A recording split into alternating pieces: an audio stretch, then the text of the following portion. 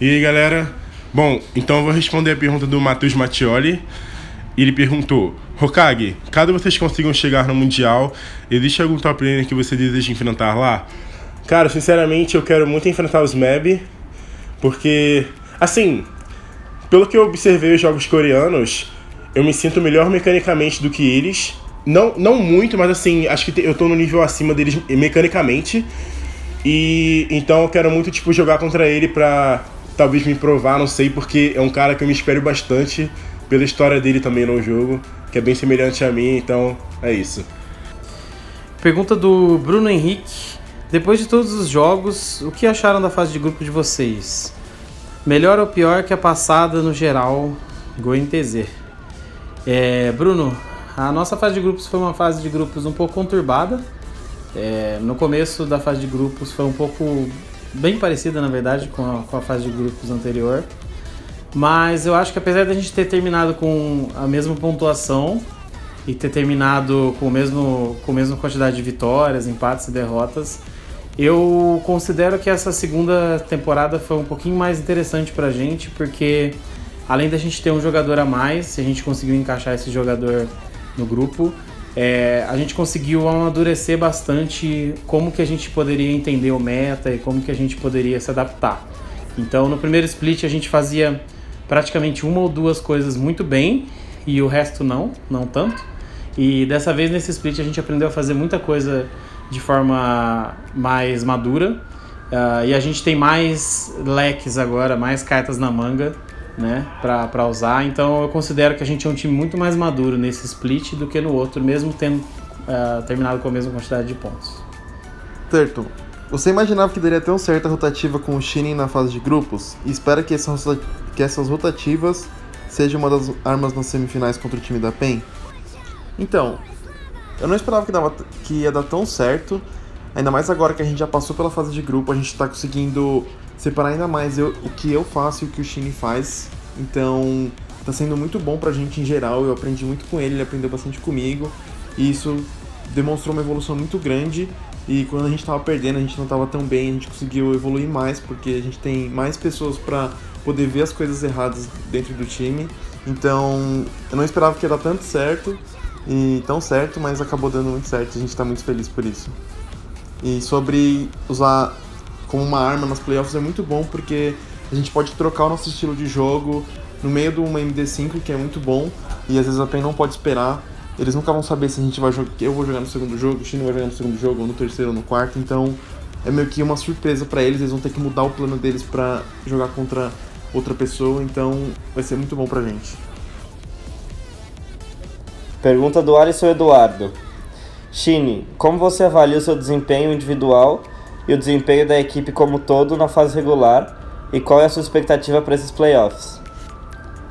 Eu avalio meu desempenho individual, não tem sido muito bom esse split, principalmente no começo, mas pro fim ali deu para dar uma melhorada e tal, mas naqueles primeiros jogos contra a CNB, T1 principalmente, não joguei muito bem e o time também não jogou muito bem naqueles dois primeiros jogos. Então eu diria que o meu desempenho individual foi meio que um reflexo do, do time também. Quando a gente estava indo bem, eu estava indo bem. Quando a gente foi mal, eu também fui mal. Eu diria que todos jogaram desse jeito. Quando a gente perdeu, todos tiveram um desempenho individual bem baixo. E minha expectativa para esses playoffs é uma semifinal bem difícil contra a PEN, porque a PEN é um time que eu tenho bastante dificuldade de jogar contra. Então, pegar eles nessa semi assim foi provavelmente o pior time pra gente jogar contra. Mas eu tô bem confiante sim pra semi. E final, Team One, o Red, eu tô bem confiante também. Então focar na PEN primeiro, ganhar a semi. Ir pra BH, jogar a final, ganhar a final também. Uh, o, Eric, o Eric Oliveira perguntou: Envy, como você se adaptou e evoluiu tão rapidamente da NTZ, sendo que você tinha tão pouca experiência? Uh, eu acho que foi com a ajuda do, toda a staff da NTZ. Eu acho que eles ajudam bastante a você se adaptar a esses tipos de, de, de ambiente tão rápido e com a ajuda deles e com, com o meu time, eles me passaram muita coisa e eu já sabia de, algum, de alguns básicos, então foi só eu me dedicar e aprender um pouco mais. Luiz Antônio. Jocão, você acredita ser o alvo nos piques de bans e que, que a botlane será mais pressionada? Como você está mentalmente? Cara, eu não sinto que eu vou ser o foco nos picks e bans, não. Eu não acho que a nossa botlane vai ser muito focada nos pick e ban e no jogo em si. Eu acho que a NTZ tem muitos pontos fortes, então não adianta você só querer fazer pressão em um ponto. E na minha opinião também, é, a nossa botlane é a botlane que mais sabe lidar bem com pressão, assim. Então, mesmo se a gente estiver sendo pressionado, mesmo se a gente tiver com muito pouco recurso, a gente tem uma ideia muito boa do que a gente pode fazer no jogo. Então, mesmo que eles foquem a gente, é, a gente ainda tem, tem como dar a volta por cima disso e ter muito impacto no jogo. Então, eu não acho que a gente vai ser o ponto focal desse, desse co- confronto. Talvez eles foquem algum, alguns bans na bot lane, mas isso é coisa mais do patch e não da, de focar a gente mesmo. Então eu acho que, que essa é a, a moral dessa, dessa semifinal. E mentalmente eu tô muito bem, eu não, não tenho pressão nenhuma, eu já sou um cara bem experiente, eu joguei várias vezes contra a PEN e isso só vai ser mais uma das vezes jogando contra eles. É, e eu espero poder sair com a vitória novamente. Então eu tô bem fo- focado para isso e estamos treinando bastante também e eu acho que a gente vai sair muito bem.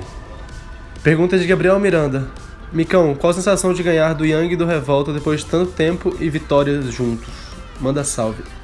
Salve, Gabriel Miranda. E é uma sensação muito boa, até porque, tipo, na época do, do, do Mundial, muita gente tava falando que eu e o Joxer é, era, era o problema. E, e poder chegar, chegar hoje e mostrar que, que, a gente, que a gente é bom é um sentimento muito da hora. Tipo, não é nem o sentimento de tirar os dois, porque eu gosto dos dois, então eles ficaram tristes, óbvio, de, de, fora, então isso, isso também é chato pra mim. Mas é a competição, tipo, pra gente ganhar eles iam ter que perder alguma hora e eu fico muito feliz que a gente tenha, tenha ganhado. Matheus Borges. Vocês acham que o fato da PEN não ter uma rotação de player em nenhuma das rotas faz com que eles tenham uma certa desvantagem, visto que todos os outros times que vão disputar os playoffs praticam esse tipo de rotação? Então, não, não, não, não sei se é certo dizer que é uma desvantagem, porque o time deles cresceu muito jogando só com essa line-up, sem trocar ninguém, eles optaram por isso, então eles se sentem mais fortes com isso.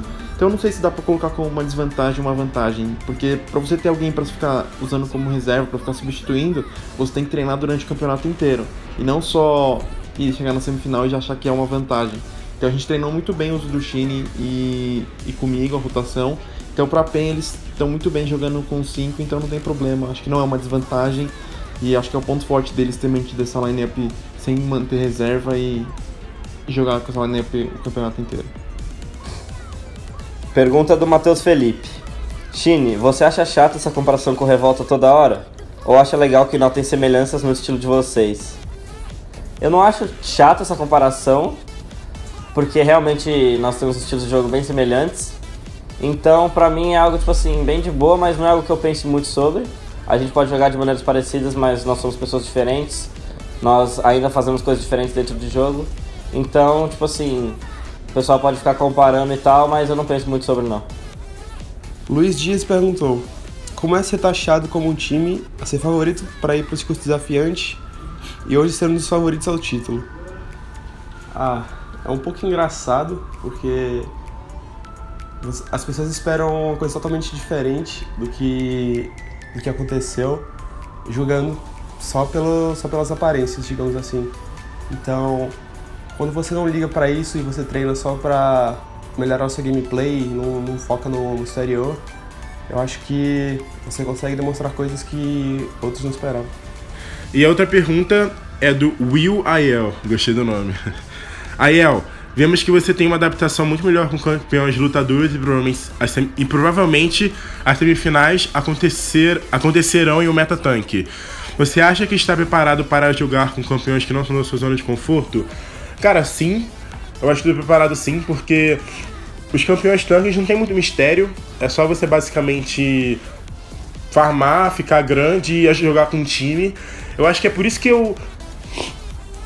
É por isso que eu tenho um pouco de dificuldade, talvez, porque eu gosto de jogar com um campeão que é meio que independente, sabe? Por exemplo, Fiora, Camille, é, Kled, Renekton, porque eu consigo matar os caras num V1. Já com tanque, é muito difícil você conseguir matar. Você conseguir matar o cara no early game, é só se o cara der muito mole, ou tipo assim, quando passa o early game é praticamente impossível você se matarem porque os dois não morrem praticamente. Daí você é obrigado a jogar com time e tal. E eu sou um cara que gosta de arriscar muito jogada individual e tal, porque eu confio muito no meu jogo. Então, com campeão tanque eu não posso fazer isso. Então, é por isso que eu nunca me destaco com ele, sabe? Eu tenho que sempre jogar com time e a gente tem que fazer uma jogada em time pra conseguir fazer dar certo. Jorge Graciano, pro Micão ou pro Jockster, pelas experiências com vocês nos últimos playoffs, qual é o time que vocês consideram que vem mais forte pra essas semis? Cara, eu acho que pra essas semifinais a Red provavelmente vai ser um time a ser batido. Eu acho que com esse bootcamp que eles vão fazer agora e toda a experiência que eles já tiveram, eles com certeza vão, vão ser um time que vai vir muito, muito forte. Então, na minha opinião, a gente aqui da NTZ é um time forte, a gente é um time bem consistente. Eu acho que a gente tá aprendendo bastante, mesmo ficando aqui no Brasil. Então eu acho que a gente vai ser com a vitória ainda assim. Mas se eu tivesse que escolher um time para eu não jogar contra, seria com certeza a Red. Então eu acho que eles, eles são um time que vai vir muito, muito forte para essa semi. A pergunta do Aaron Félix para todo mundo aqui. Como ficam as questões de privacidade morando numa game house? É, então, Aaron, eu falei isso um pouco no, no programa do Melão. Eu não sei se você assistiu lá também. É, eu falei que, inclusive, essa questão da privacidade é um dos sacrifícios que ah, quem quer trabalhar com isso tem que fazer, né? Porque hoje em dia as game houses são, são lugares onde ficam todo mundo concentrados para jogar, só que é o mesmo local onde mora e trabalha. Então a questão da privacidade é um pouquinho, é um pouquinho complicada, porque a gente mora tudo junto, dorme tudo junto, faz praticamente tudo junto. É, mas é algo que acostuma também, né? Então, para quem já saiu de casa, foi morar em república, é, já conhece um pouco disso, né? Mas para os meninos que nunca saíram de casa, então pode ser uma surpresa ou alguma coisa até difícil de lidar, né? Mas a gente tenta fazer o convívio mais harmonioso possível, né? Então tem uma questãozinha assim de privacidade, muita gente divide as mesmas coisas, espera para tomar banho, espera para pentear o cabelo, mas mas é bem legal quando você costuma colocar algumas regrinhas de horário, de, de comportamento, para que todo mundo conviva bem e viva num lugar, num lugar legal e harmonioso. Então, demanda um pouquinho de trabalho, de tempo, né, para acostumar e para todo mundo se dar bem, mas depois de um certo tempo fica bem legal. Fica, você sempre tem alguém para conversar, sempre tem alguém para jogar junto e falar das coisas que você gosta, falar de LoL. Então é, é bem legal. Pergunta de Naidson Geraldo. Qual foi a pior fase da sua carreira? É, eu julgo que a pior fase foi, tipo, antes de eu entrar na NTZ, porque era uma época que não tinha muita estrutura, era uma época que era muito difícil se dedicar pro jogo, era uma época que eu nem podia jogar muito, porque era, era muito novo ainda esse cenário, então acho que essa foi a fase mais difícil, assim, a pior fase pra mim.